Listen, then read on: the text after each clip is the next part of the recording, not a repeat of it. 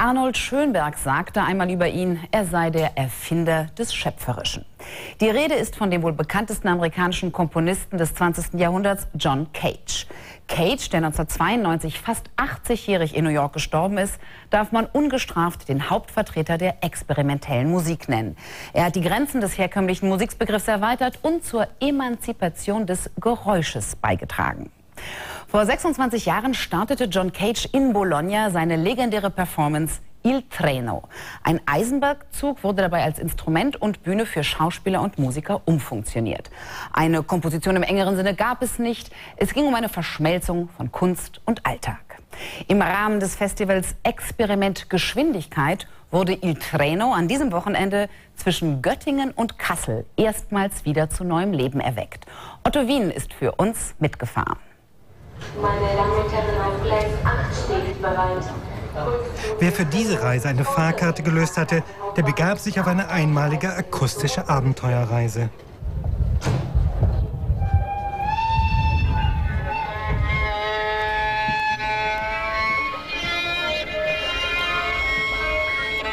Inszeniert hat diese Performance der Schweizer Komponist Daniel Ott.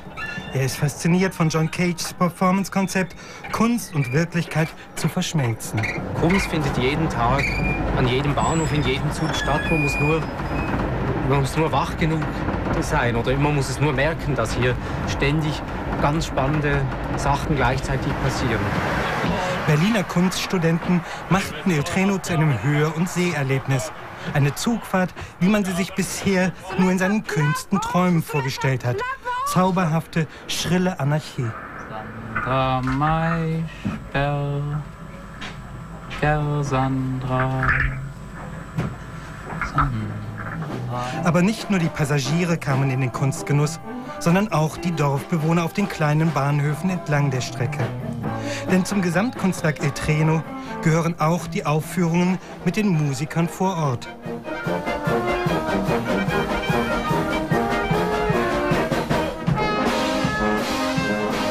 Wir sind hier angekommen, haben aufgebaut und fangen an zu spielen und hoffen natürlich auch ein bisschen lauter und ein bisschen ähm, interessanter zu sein als die anderen. Das ist ein kleiner Wettbewerb.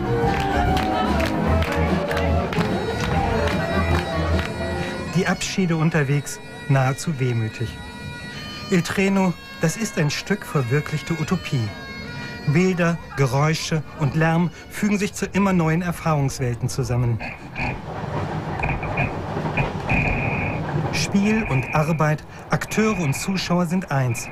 Vielleicht wird in kaum einer Aufführung John Cages Idee deutlicher, Musik ist Experiment und Entdeckungsreise. Das Ego des Komponisten ist nicht das Allerwichtigste, wie bei vielen europäischen Komponisten, sondern das Wichtigste ist, dass man was geschehen lassen kann. Wer einmal mit John Cages El Treno gefahren ist, der kann auch in alltäglichen Geräuschen Musik entdecken. Und nicht nur in der Welt der Eisenbahn. erreichen wir den Bahnhof Witzenhausen.